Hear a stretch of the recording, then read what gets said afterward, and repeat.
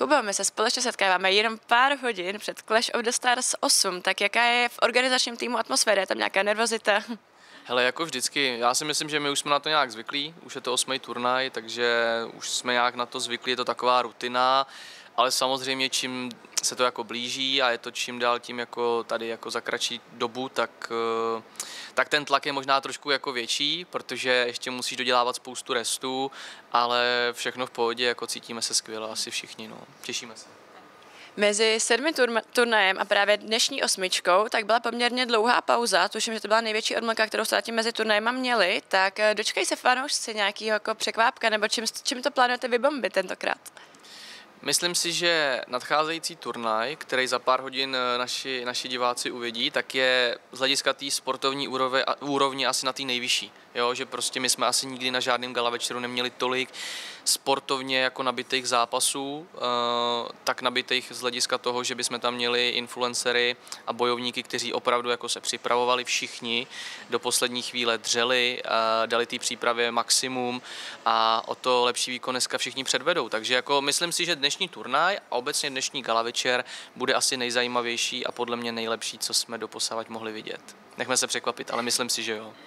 Umíš ty sám říct, na kterých z těch zápasů se teda těšíš nejvíc, když už tady rozebíráš jednotlivý ty souboje a že budu jaké hodnotíš, jaký budou pravděpodobně? Hrozně se těším samozřejmě na všechny zápasy, to je jasný. Kdybych měl na mátku říct, eh, když mě jako napadnou na první dobrou, tak určitě Martin, Martin Kocián a Snakes. To je taková jako třešnička na tom dortu dneska, to bude hodně dobrý, na to se těším. Zápas v boxu v malých rukavicích. Potom se těším určitě na Jirku Juřičku se Samirem, na to se strašně moc těším, protože Samir e, není úplně miláček e, místních, e, místních obyvatel, i tím, co prohlásil eh, před zápasem. No a Jirka samozřejmě na druhou stranu je obrovský miláček, patriot, že jo, je odsud z Ostravy. Mají to mezi sebou vyhrocený, oba jsou to velmi jako nadaní a dobří bojovníci. Jirka má za sebou už pár zápasů i, i v profi, takže, takže uvidíme, jak to, jak tenhle zápas dopadne. Těším se samozřejmě i na rok odkládaný zápas mezi Hankou Gelnárovou, Míšou Dostálovou, protože holky do té přípravy obě dali taky 100%, obě si prošly, eh, no Míša tolik ne, schazováním samozřejmě, ta nabírala, ale Hanka si prošla dlouhou cestou toho schazování. Od kleše 3 vlastně zhubla asi 20 kg. Takže dlouhá cesta a těším se, těším se, co holky ukážou obě, jak to dneska dopadne. Netroufám si jako odhadovat vítěze. A ještě se strašně moc těším na náš hlavní zápas, titulovou bitvu mezi Dynamem a Filipem Grznárem. Filipova ta, Filipovi ta váha šla lehce, schazoval nějakých myslím, že 10 kilo, ale on to tak jako hezky rozprostřel, že už nám, myslím, že v dubnu říkal, nebo možná v květnu, že je úplně jako v pohodě s váhou, že vůbec neřeší a cítí se skvěle. Dynamo vždycky, jako vždycky prostě taky se cítí uh, velmi jako optimisticky a myslím si, že ten zápas bude dobrý. Takže zkrátka těšíš fakt na všechno. Nicméně, na začátku si promluvil o tom Martinu Kociánovi, tak prozradíš, jak těžký bylo na, jako to jednání s ním?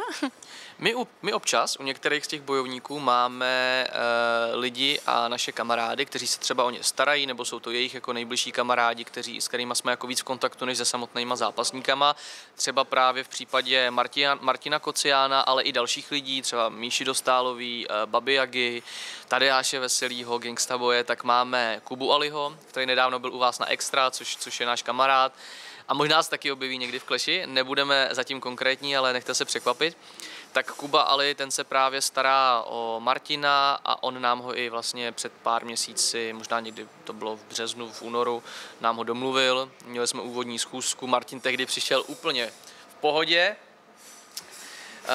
s čistou hlavou a pak, když jsem ho viděl dál, tak ušel ty své brikulky, jak na schůzkách, tak pak i eh, během živého vysílání na všech tiskovkách. Takže je to super, eh, tenhle, tenhle ten eh, kontakt se nám určitě vyplatil, myslím si, že lidi to ocenili, že to je jeden z těch hlavních taháků Martin Kocián, tak uvidíme, co dneska předvedou kluci v kleci.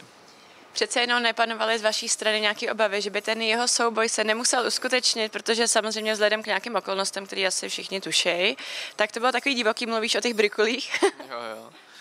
No, byly zprávy, že Martinovi není úplně dobře, pár dní, pár dní dozadu měl nějaký jako žaludeční problémy, ale tak včera jste viděli navážení, je v cajku, je v pohodě, dali si se Snakesem i svůj svůj závěrečný down a dneska konečně uvidíme v kleci a Martin nám konečně ukáže, co v něm je.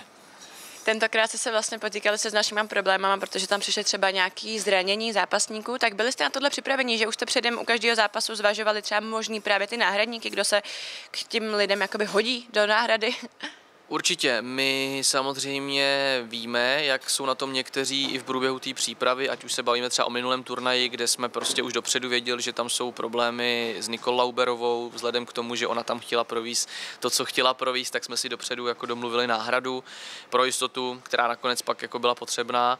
A pokud o někom máme zprávy, nebo jsme definitivně přesvědčení, že nás jako na poslední chvíli třeba může vyšplouchnout a udělat něco, co za nás není OK a pak třeba nenastoupit, jako ta Nikol, tak eh, samozřejmě si vždycky dopředu předdomluvíme někoho jako náhradníka. To tak jako by mělo být a je to tak. No.